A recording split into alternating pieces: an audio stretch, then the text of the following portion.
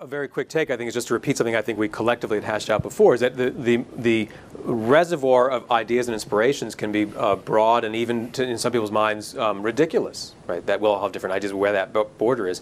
But that's the start and not the conclusion. So if someone wants to, as you say, peddle some strange sounding ideas, they're welcome to. And they're also welcome to try to get funding to do big, hard experiments and convince their intensely aggressive and skeptical colleagues mm. uh, to, to poke and poke and poke and poke, sometimes for decades. And so it's, it's it, the easy part is saying something weird sounding right? And the hard part is making parts of that seem to stick, even if on the scale of decades, if not forever.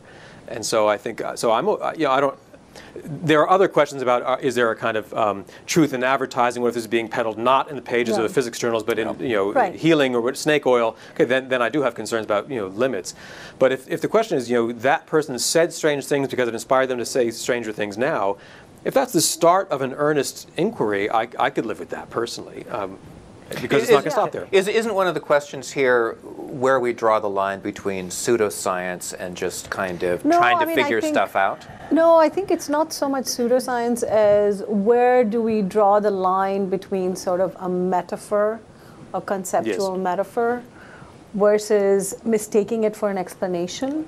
Mm-hmm. And I think, and meaning, uh, or an explanation for um, the phenomenon, or cause and effect, or you know, um, hijacking, as it were, something that is really um, conceptual uh, and a metaphor to action, assigning more, attributing much more to it than just that. I would say there's been. Mm. Three. There's been sort of three, maybe random. There's been two phases of the engagement of you know Eastern ideas, Buddhism, classical Indian philosophy, uh, or Hinduism, uh, with science. And the first was, I mean, maybe there's earlier, but the first was sort of this 1970s Fritjof Capra. And I, I loved that book, you know, for the same reason. Yeah. It really introduced yeah. me to quantum mechanics. And the Dancing Wu Li Master. And the Dancing Wu Li I read Master. that And it actually yeah. taught me some interesting things about Buddhism that I didn't know. But it clearly became then, you know, what the bleep do we know, that ridiculous movie, you know.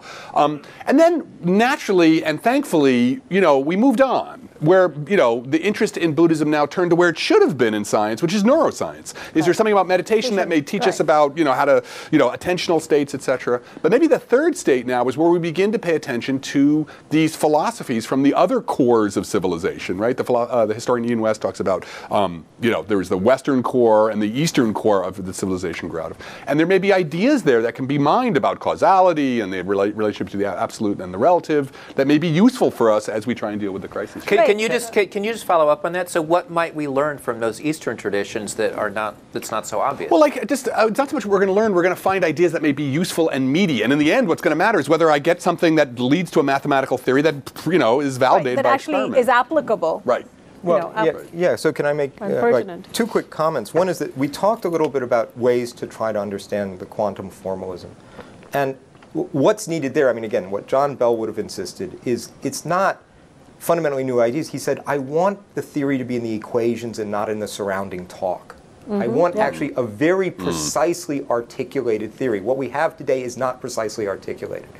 So there, that problem is not I'm looking for a new metaphor. I'm actually just trying to be very, very meticulous mathematically about saying clearly what am I claiming exists and how does it work, right? How does it mm. behave?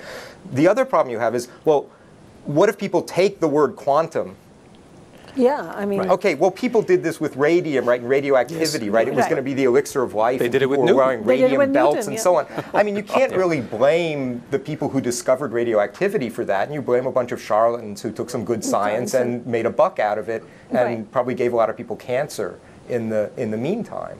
Um, so yeah, you need to be very worried if people are throwing the words around and trying to get the patina of science to get you to buy their product you know, everybody ought to be careful about that. Mm. Well, I just maybe maybe a mild disagreement, Tim. Finally, um, at this late hour, I, am hard pressed, at least on uh, uh, right here, on, off the cuff, to think of a single instance, literally a single instance, over the last whether one or seven centuries, you, you can determine the boundaries, um, in which people had finally come to agree on the math says this, and therefore the interpretation is un- unambiguous and unavoidable, and that's even for equations that haven't changed in hundred years. So if you look at things you know extremely well, better than me, uh, interpretations of subtle things in general relativity. We haven't changed or tinkered with the uh, field equations of Einstein's beautiful theory of gravity.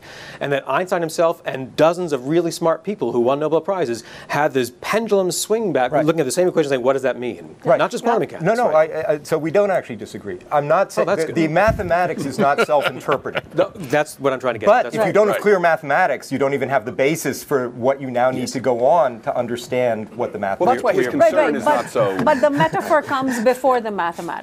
Right. Might come before the mathematics at a certain stage in some problems, Right. right? And that's the utility of other ways of thinking. I mean, we talked about that. There could be heuristic utility, Utility from anywhere. where- Yes, Right. yes, Right. yes. Then you want that heuristic, the theory to be nailed down mathematically, but that doesn't finish finish the the problem. problem. This is you're No. right. Yeah. Even when I, in some sense, can have some clear mathematics, but there can still be disputes about exactly how to interpret. And that's why none of us on this panel will be out of work, right? That's because Right. there, there- there is a continuing, I mean, genuinely continuing, you know, philosophical work to be done. Right. I don't think the I don't think the interpretational matters are any more finished than say the sort of calculational Calculation ones matters, are. right.